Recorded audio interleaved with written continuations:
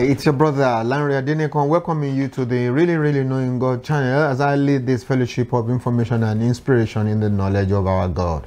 All powered by the Pastor Lanre Adenekan Center for Eduspiration.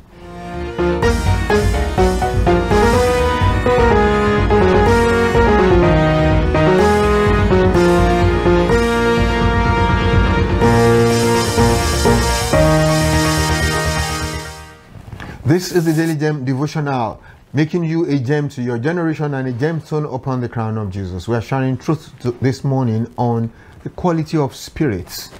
This is coming from the Song of the Bow, Second Samuel chapter 1, 17 to the end. Let's pray together and then we jump, jump right into it. Father God, we bless you and worship you this morning. Thank you, thank you for the fine night rest we had. Again, a fine day has come and we give you all the praise for it. As we go on to share from your word, O God, Help us at it in the name of Jesus Christ. Amen. Amen. Amen. Hallelujah. Yes, it's the song of the bow. That's what they call it. Uh, verse 17 of First Samuel, Second Samuel, chapter 1. I beg your pardon. Then David lamented with this lamentation over Saul and over Jonathan his son, and he told them to teach the children of Judah the song of the bow. Uh, indeed, it is written in the book of Jasher. Uh, the, the, beauty of Israel is laid upon your high places, how the mighty have fallen. Tell it not in Gath, proclaim it not in the streets of Ashkelon. Let the daughters of Philistines rejoice, let the daughters of the uncircumcised triumph.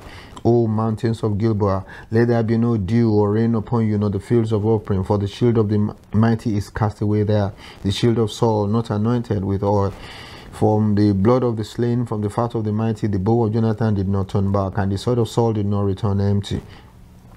Saul and Jonathan were beloved and pleasant in their lives, and in their death they were not divided. They were swifter than eagles, they were stronger than lions. O daughters of Israel, weep, weep over Saul, who clothed you in scarlet and luxury, who put ornaments of gold on your apparel. How the mighty have fallen in the midst of battle. Jonathan was slain in high places. I am distressed for you, my brother. Jonathan, you have been very pleasant to me. Your love to me was wonderful, surpassing the love of women. How the mighty have fallen and the weapons of war perished. Okay, they call it the song of the bow. All right. Um, so um, first and foremost, um, there was this uh, lamentation, and David lifted up his voice and began to. Um, it was some form of poem, really, um, but it was in in honor of the people who had or had died in that terrible battle. Okay, and then he said that people should be written down. It should be told to the children of Judah. You know this song. Indeed, it is written in the book of Jasher. Now, I should mention something about this particular book because there have been mm, some fake of it around the place. People will say that uh, you know there's some book and the number of mystic things are inside it. Please do not mind them. In, indeed, there was a book like that. One of the national song books of uh, Israel. It was was, but the meaning of it actually is the book of the uprights. That's the truth about the matter. So somebody comes up and begins to say all kinds of things existed in that book. That was nothing there. There were just testimonies and things like that and uh, they call it the book of the upright people. That's just the meaning of it. Let's go on. So he now began to says the beauty of israel is slain upon your high places. Now this what was he referring to as the beauty of Israel? He was referring to the army of Israel or the armies of Israel. That's what he was referring to as the beauty of Israel is slain upon your high places. How are the mighty falling? You know. Now, you want to think about the fact that this was the army he outwitted several times. It was the same army he was referring to as the beauty of Israel honestly, I want you to begin to see the kind of person David was. This was an army David managed to outwit them several times, but he still called them the beauty of Israel. Okay, so that that heart was beautiful, beautiful uh, kind of heart that you see in there, in spite of. Um, all that has happened. He was not gloating over that uh, their their loss or their defeat or, or, whatever. He was still saying, ah, this army was the pride of Israel, you know, and all that. In spite of the fact that you had outwitted them, it looked like um, a greater pride than they were now. okay, but you see, he didn't think that way. He, he, still called them such a beautiful name. Let's just go on. And then he began to say, don't tell it. You know, he began to mention Philistines. Um, uh, towns and cities so that don't mention it there so that their daughters will not be going, begin to rejoice and all that. Mountain of gilboa that was where there was a war if you remember where that um, uh, funny character said it just happened to be on the mount gilboa. You remember all that. Okay? So spoke about you know all those things about there uh, how that um, um, there was nothing like returning from war to wash your shield, to wash your uh, breastplate, to clean it, and then to oil it ready for the next time you are going to use it and all that. That's what he was trying to uh, say there. And then he says that uh, the blood of you know blood of the slain from the vat of the mighty, the bow of Jonathan, the sword of Saul. You know, oh, these guys were beloved and pleasant in their lives and in their death they were not. It was now singing their praise. it was talking about how, okay, if we went a bit further, he said they were swifter than eagles, they were stronger than lions, okay, daughters of weep over Saul. You know, he was now uh, singing their accolades, talking about um, their prowess, their ability you know, during the war, you know, during wars, okay, let's put it that way, during wars or battles, he was now singing all that. That these, these guys were fantastic, you know, they, they were great warriors, they did well for the people of Israel, and this and that, you know. He, he went on to talk about the prosperity they brought upon the land during their time. O daughters of Israel, weep over Saul, who clothed you in scarlet and luxury, who put ornaments of gold on your apparel, you know. He spoke about their achievements, about their military abilities, their um, shall I call it socio-economic abilities also, how they made the people to prosper, how they brought happiness and joy to the people as they won many battles and they had uh, uh, uh, war uh, booty plunders from, from, from the war, you know, and how these things spread to the people, they reached the people. These guys were beautiful. And he was singing. Meanwhile, remember, it was Saul that was chasing after him, trying to kill him, you know, in so, so over years that he was just running up and down, you know, trying to remain alive. These were the same people that he was really eulogizing here. he says, Oh, how are the mighty falling?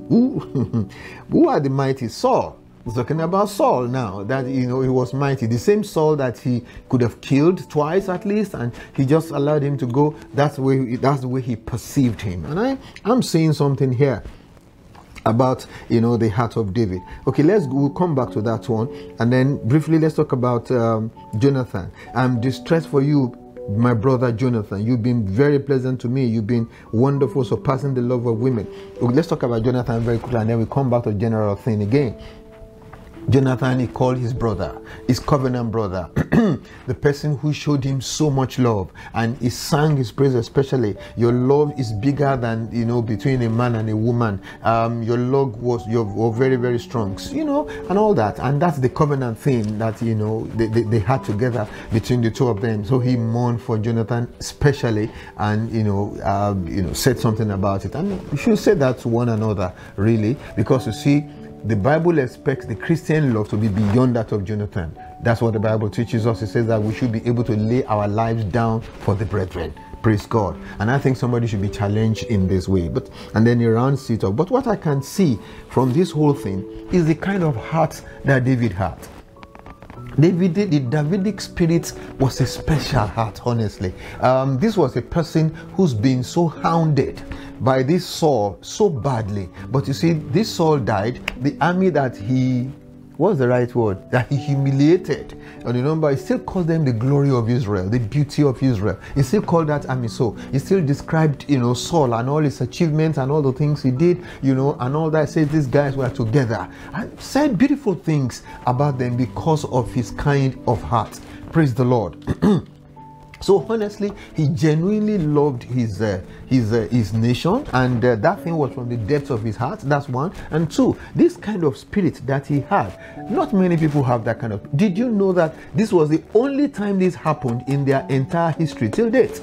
Nobody ever did this again in, in their whole story. Let this thing be written down. Let it be taught unto the children. You know, singing and, and eulogizing these people um, let's leave Jonathan aside. What about Saul, who had done all kinds of things, or attempted all kinds of things, so several times, first in the palace and now in the open, everywhere he was running after this man trying to kill him. But David never saw, you know, all that. He had chosen to ignore all that and rather focus upon the positives in the life of this man who had now passed on and he was singing his praises. Honestly, it's a beautiful spirit, and I think that we should learn from there. We should pray that God should give us, you know, um, um, that kind of uh, that kind of heart honestly, that quality of heart, that God should give us that kind of a thing so that we also can uh, record this kind of a thing. No wonder God just loves this David and said he's a man after my heart. Did you know that God is like like that as well? Honestly. And um, it's it's so it's so wonderful. And i pray that uh, we also will learn to be that forgiving and you know to overlook the, the bad deeds of people you know and after they have passed especially after they have passed just just concentrate upon their positives alone. Thank you very much. Um, thank you for sharing time with us this weekend, and I trust it's going to be a fine one for you in Jesus' mighty name. I don't know why, I don't know, I feel subdued somehow, maybe because of this particular song of the bow and all that happened along with it, I don't know, but nevertheless, try and have yourself a good weekend. God bless you. Thank you.